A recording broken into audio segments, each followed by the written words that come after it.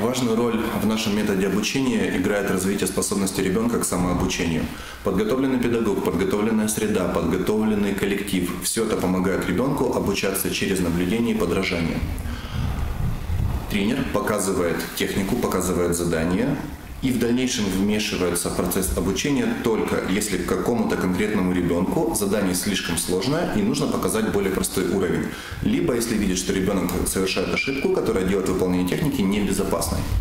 Коррекция техники составляет до 20% от общего взаимодействия с ребенком и проводится тогда, когда ребенок освоил тот уровень техники, на котором он делал, и готов усовершенствовать то движение, которое он выполнял.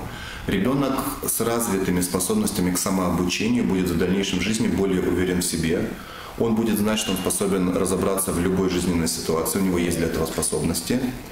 Он будет легче учиться. Ввиду этого он будет более мотивирован к тому, чтобы учиться.